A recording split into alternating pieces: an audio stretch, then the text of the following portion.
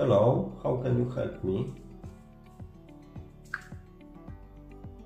I can help you create 3D objects based on a variety of templates, such as cubes, cylinders, screws, and even more complex shapes, like manual rotating tables or a tractor. All you need to do is describe the model or provide changes to an existing one, and I'll generate a link for you to visualize it.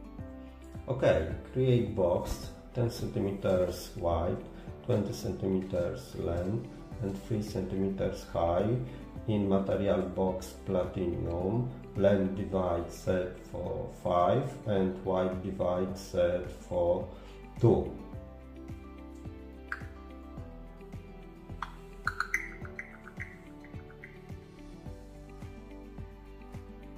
Here's the generated 3D box based on your specifications. 3D box, 10 centimeters wide, 20 centimeters long, 3 centimeters high, platinum material. Please open your app to see this link. This link includes the correct parameters for width, length, height, material, and divisions as per your request.